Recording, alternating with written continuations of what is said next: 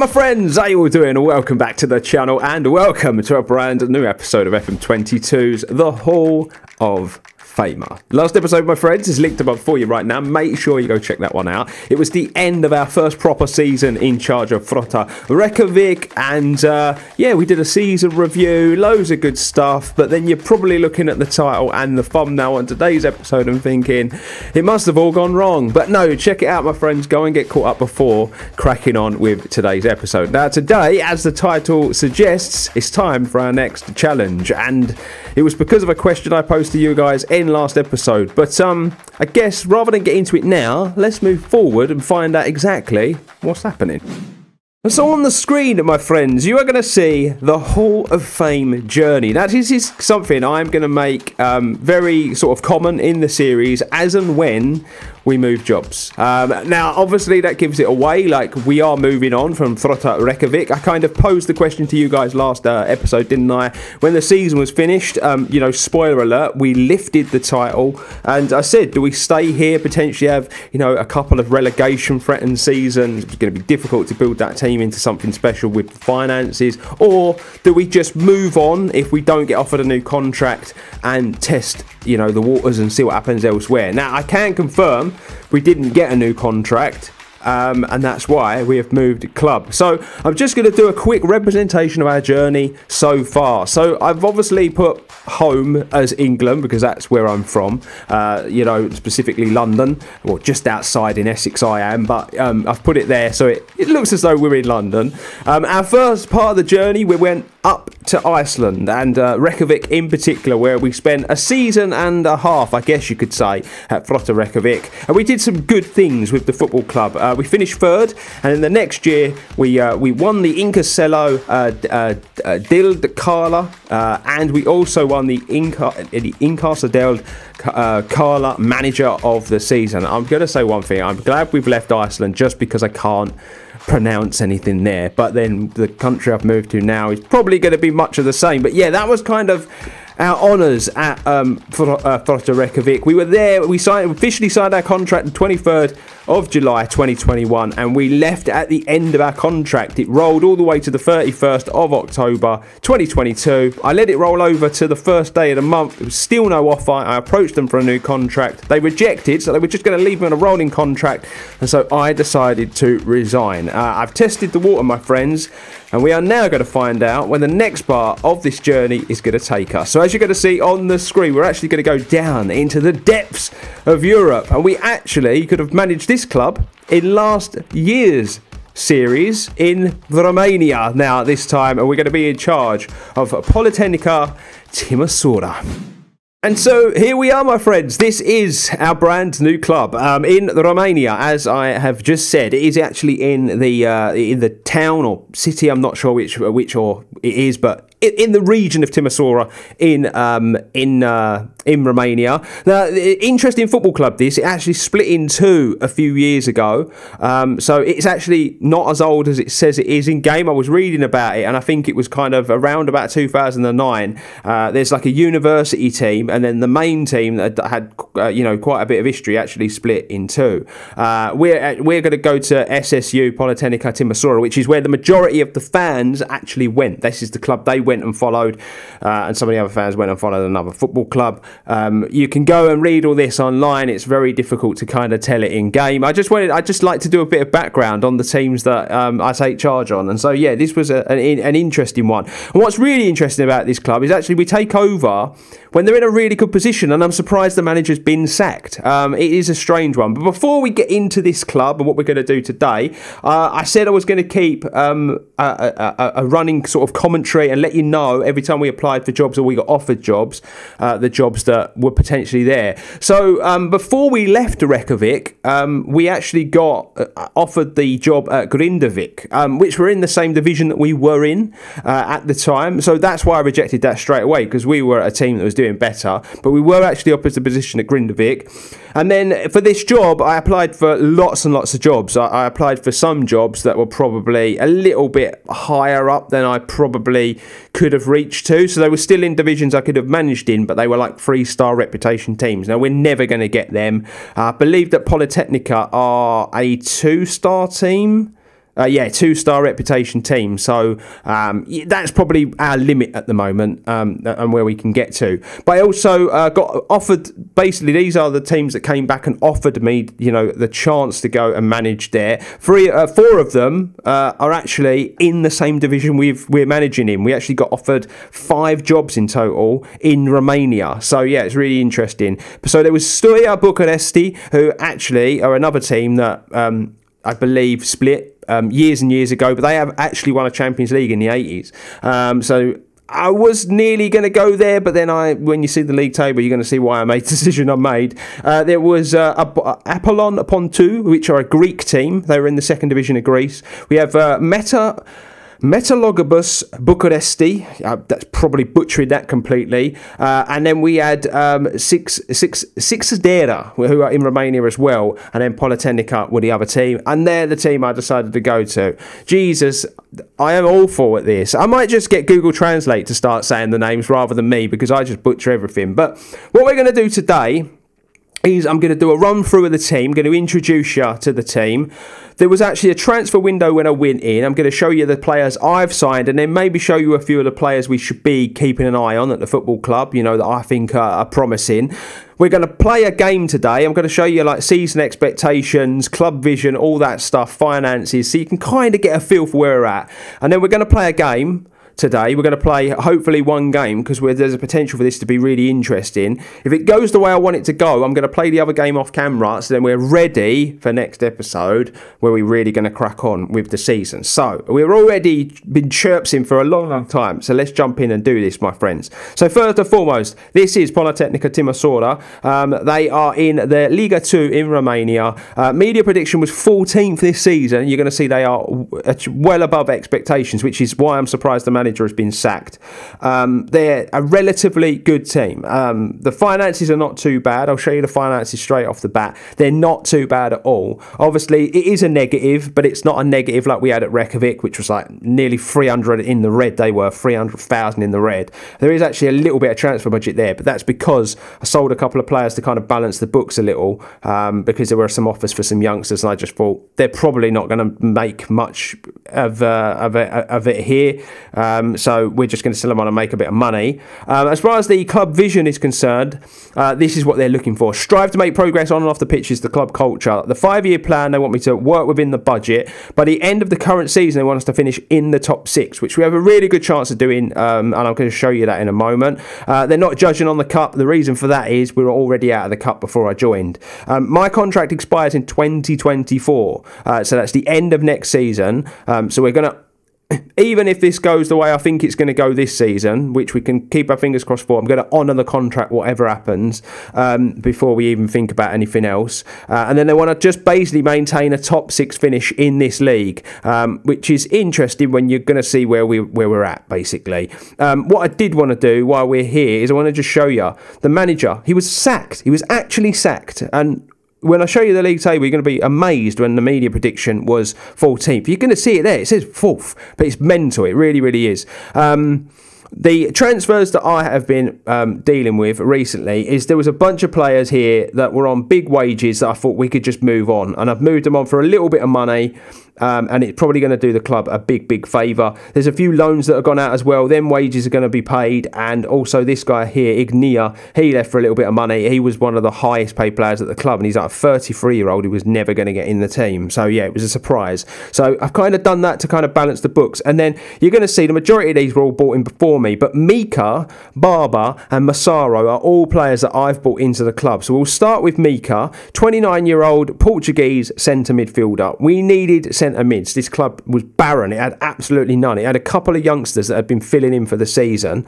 Um, I'm going to just say right off the bat, though, my transfer dealings are a mess because what I should have done is looked at the rules before doing so because I can't actually start all of my my signings because of the for because of reasons beyond my control, basically. But Mika's a centre midfielder. He looks really good, doesn't he? If we'd have had a player like this at Reykjavik, he probably would have tore the league to pieces. But yeah, he's on £675 a week. We can't really offer massive wages, but um, but they're a bit bigger than we could offer before. And I think he's going to be a real good player for us in the midfield. Uh, uh, uh, Gianluca Barba is an Italian 28 year old centre midfielder. Again, we needed centre mids. He comes in on £525 a week, and he's not as good as Mika, but um, he's still probably one of the better midfielders um, in the division. It does have to be said. And uh, across the board, I think he looks pretty good and will do a really good job for us. And then uh, David Massaro is a 25 year old Italian striker available. All of these were available on free transfers, and so I bought him in, and he comes in on £475 a week. And straight away becomes the best striker at the club, which shows you the levels basically the striking unit was at um, before I joined. But um, he's not trained the best, but um, he did all right on his debut, so we're, we're going to let it slide for now. So that's all I've done transfer wise. You've seen the vision, you've seen the finances, you've seen the transfers. So so the next thing I'm going to share with you is obviously the league because we're going to look at expectations and all that sort of stuff as well. Now we're currently fourth in the division. There's two games to go in this opening phase of the league. Now, this league works in a similar way to the Bulgarian league. So, anyone that joined me for last um, last year's series um, where we managed in Bulgaria for the entirety of it. Basically, there's stage one of the league is you try to finish top six to go into the championship section, or you finish from seventh down and you go into the, re- basically the relegation section. Um, I will show you the league structure so you can understand it. But first and second go up automatically. And then there's a chance for two more teams to go up through the playoffs, and then I believe five teams get relegated. So yeah, it's sink or it's a sink or swim uh, league. It really really, really is. Uh, as you're going to see, team's doing all right. We've got a game in hand, 31 points on the board. So yeah, we're actually doing all right. If we were to win that, we're 10 points off top. Might be a bit to ask, but um, but yeah, the team's been going really, really well. It does have to be said, and that's why I'm really surprised the manager was sacked. Um, a quick look at the season preview. Um, sixth, they're saying now, but you see it on the other screen. Media prediction was um, was 14th before, and that's because the season before this they were languishing down in 13th. I think they finished, so really wasn't a good time for the football club. But as you can see, none of our players are in there. No real surprise. We're not one of the stronger teams. These were all the teams that were relegated last year. So you can see three teams were relegated, but there's a chance that four can actually go up. So um, it means that one of the teams down here did well in the playoffs and managed to get themselves promoted. Um, but uh, as you can see, these were all the ones that were promoted, and they're all the ones that kind of favourites to go back down. Um, look at Steaua Bucuresti. Unbelievable that they're down here. They've won a Champions League for crying out loud. I'm going to continue to say that for as, for as often often as they're there. Um, but um, but yeah, sixth place is not too bad. Now the way that the league works, if we just take a look at the structure.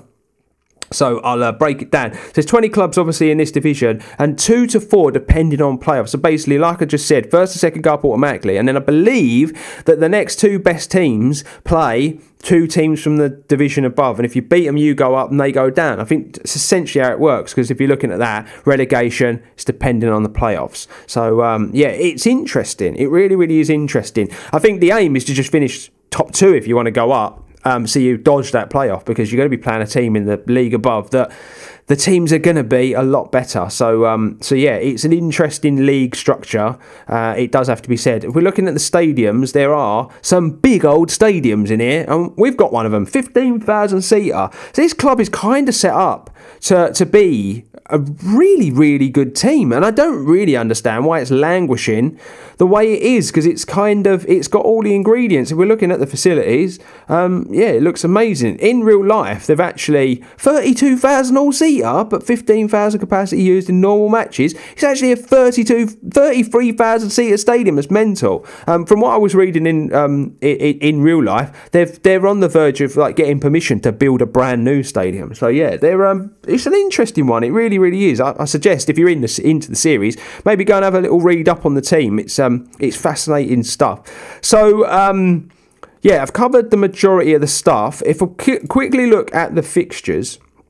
Um, you're going to see we played a bunch of friendlies. The manager was sacked off the back of back-to-back wins which is again, I'm just, I'm so confused. I'm really confused at this situation the club's found itself in. I've actually m- played one game, and I did that because I thought it'd line us up for these two games at the end, and it could just kind of really, it will push the series forward like in a positive motion. Basically, it's kind of the way we need it to be moving at the minute. So, um, so yeah, we actually won our first game in charge, and you'll see Massaro on the score sheet inside two minutes, and uh, yeah, he won us the game, and uh, we're going to be playing FC Buzau in today's episode. Hopefully, we can get the win because if we get the win, we would then be guaranteed a playoff place, uh, which means we would move on into the championship phase, which is kind of like where I'd like to pick next episode up, basically. So that's that's essentially how it's going to work, gang. Uh, today's episode. Um, if we just quickly take a look at the squad.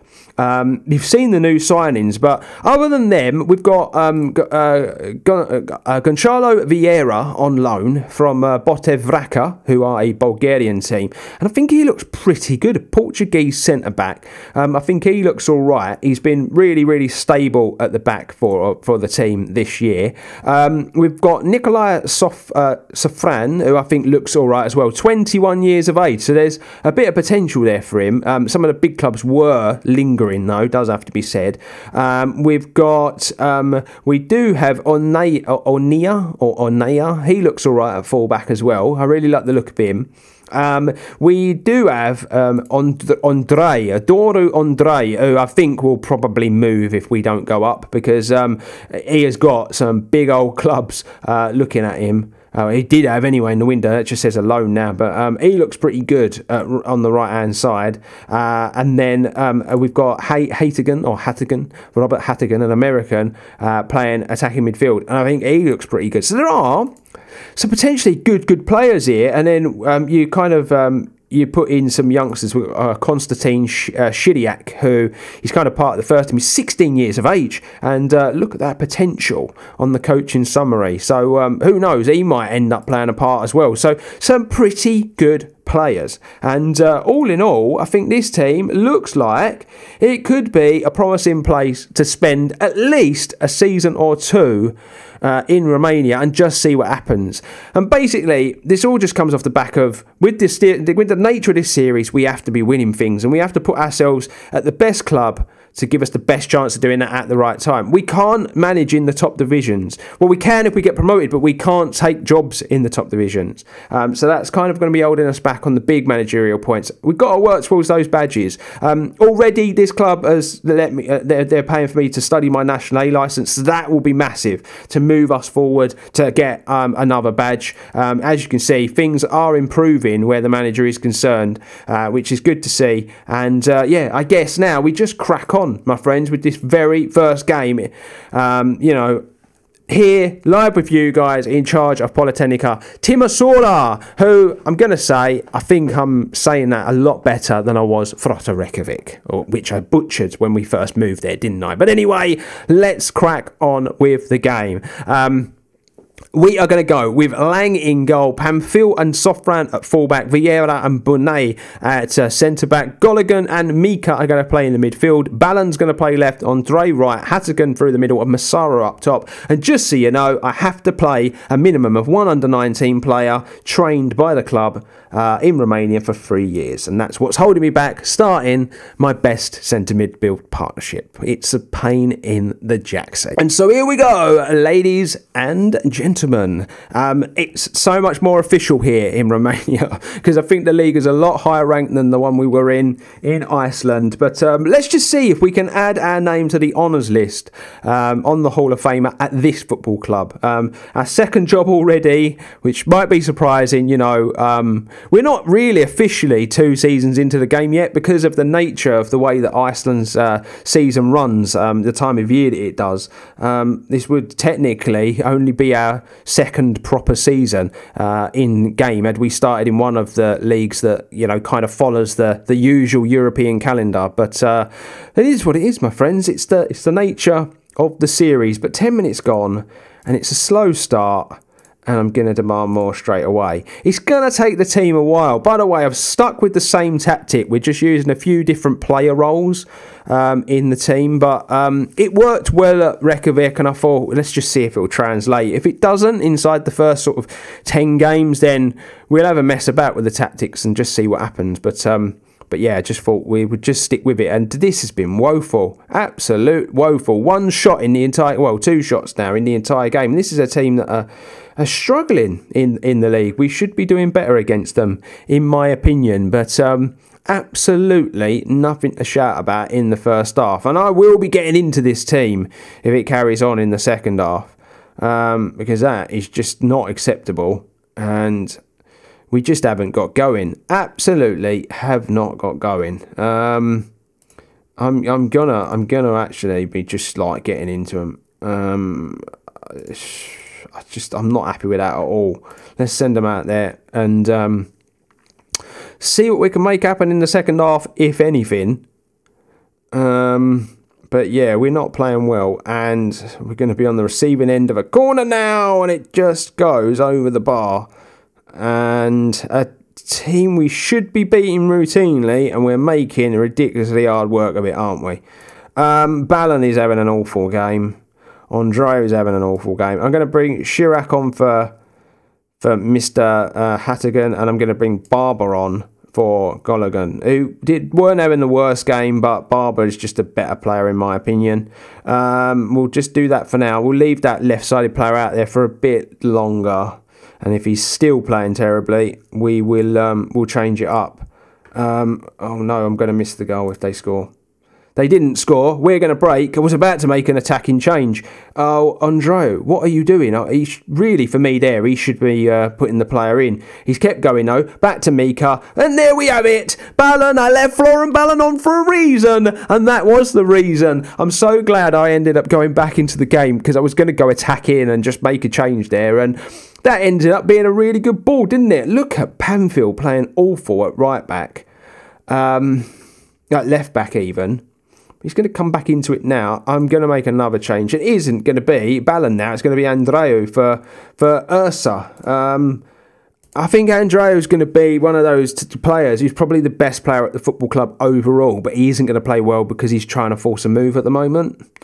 So it's one of those awkward situations. But um, it's been anything but spectacular. This it really has not been good, as it at all? It's a more of a. It's going to be a much more difficult league, though we do need to uh, have some context here. The teams are going to be probably a bit closer in terms of their ability.